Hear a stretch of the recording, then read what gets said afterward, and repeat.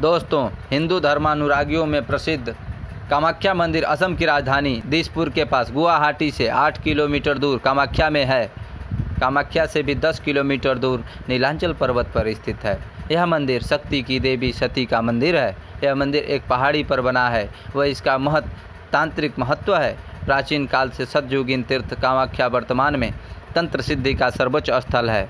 पूर्वोत्तर के मुख्य द्वार कहे जाने वाले असम राज्य की राजधानी दिसपुर से 6 किलोमीटर की दूरी पर स्थित नीलांचल अथवा नीलशैल पर्वतमालाओं पर स्थित माँ भगवती कामाख्या का सिद्ध शक्तिपीठ सती के इक्यावन शक्तिपीठों में सर्वोच्च स्थान रखता है। यही भगवती की महामुद्रा योनिकुंड स्थित है। विश्व के सभी तांत्रिकों, मांत्रिकों एवं सिद्ध पुरुषों के लिए वर्ष में एक बार पड़ने वाला अम्बुवाची योग पर्व वस्तुतः एक वरदान है।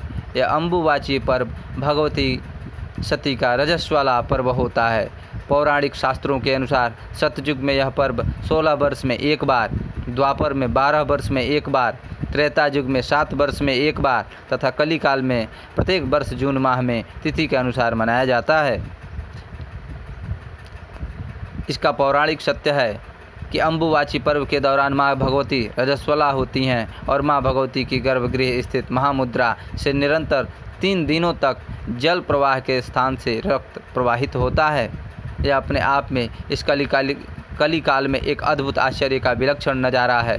कामाख्या तंत्र के अनुसार योनिमात्र शरीराय कुंजवासिनी कामदा रजस्वला महातेजा कामाक्षी ध्येताम सदा शरणागत दीनार्थ परित्राण परायणे सर्वश्याति हरे देवी नारायणी नमस्तुते। यह मंत्र काफ़ी प्रसिद्ध है।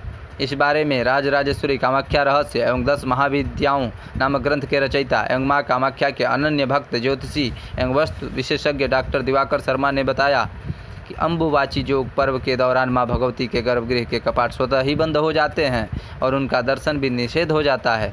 इस पर्व की महत्ता का अंदाज़ा इसी बात से लगाया जा सकता है कि पूरे विश्व से इस पर्व में तंत्र, मंत्र, यंत्र, साधना हेतु सभी प्रकार की सिद्धियाँ एवं मंत्रों के पुरस्चरण हेतु उच्च उच्च कोटि, कोटियों के तांत्रिकों, मांत्रिकों, अघोरियों का बड़ा जमघट लगा रहता है। तीन दिनों के उपरांत माँ भगवती के रजस्वला समाप्ति पर उनकी विशेष पूजा एवं साधना की जाती है। कामाख्या के शोधार्थी एवं प्राच्य विद्या विशेषज्ञ डॉक्टर दिवाकर शर्मा कहते हैं कि कामाख्या के बारे में किवंदंती है कि घमंड में चूर असुरराज नरकासुर एक दिन माँ भगवती कामाख्या को अपनी पत्नी के रूप में पाने का दुराग्रह कर बैठा था। कामाख्या महामाया ने नरकासुर की मृत्यु को निकट मानकर उससे कहा कि यदि तुम इसी रात में नील पर्वत पर चारों तरफ़ पत्थरों के चार सोपान पथों का निर्माण कर दो एवं कामाख्या मंदिर के साथ एक विश्राम गृह बनवा दो तो मैं तुम्हारी इच्छानुसार पत्नी बन जाऊँगी।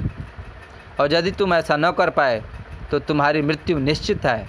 गर्भ में चूर असुर ने पथों के चारों सोपान प्रभात होने से पूर्व पूर्ण कर दिए।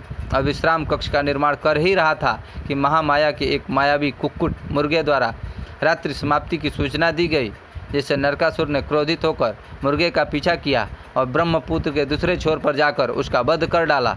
यह स्थान आज भी कुक्ता चक्की के नाम से विख्यात है। बाद में माँ भगवती की माया से भगवान विष्णु ने नरकासुर असुर का वध कर दिया। नरकासुर की मृत्यु के बाद उसका पुत्र भगदत्त कामरूप का राजा बना। भगदत्त का वंश लुप्त हो जाने से कामरूप राज्य छोटे छोटे भागों में बट गया और सामंत राजा कामरूप पर अपना शासन करने लगे। नरकासुर के बीच कार्यों के बाद एवं विशिष्ट मुनि के अभिशाप से देवी अप्रकट हो गई थी और कामदेव द्वारा प्रतिष्ठित कामाख्या मंदिर ध्वंस प्राय हो गया था। पंडित दिवाकर शर्मा ने बताया कि आद्य शक्ति महाभैरवी कामाख्या के दर्शन से पूर्व महाभैरव उमानंद, जो कि गुवाहाटी के निकट ब्रह्मपुत्र नदी के मध्य भाग में टापू के ऊपर स्थित है, का दर्शन करना आवश्यक है। यह एक प्राकृतिक शैल द्वीप है, जो तंत्र का सर्वोच्च सिद्ध सती का शक्तिपीठ है। इस टापू को मध्यांचल पर्वत के नाम से भी जाना जाता है, क्योंकि यहीं पर समाधिस्थ सदाशिव को कामदेव ने काम बाण मारकर आहत किया था और समाधि से जागृत होने पर सदाशिव ने उसे भस्म कर दिया था। भगवती के महातीर्थ नीलांचल पर्वत पर ही कामदेव को पुनः जीवन दान मिला था। इसीलिए यह क्षेत्र कामरूप के नाम से भी जाना जाता है। धन्यवाद दोस्तों, अगर खबर अच्छी लगी हो तो हमारे चैनल यूनिक समाचार को सब्सक्राइब करें एवं बेल आइकन दबाना न भूलें। नमस्कार।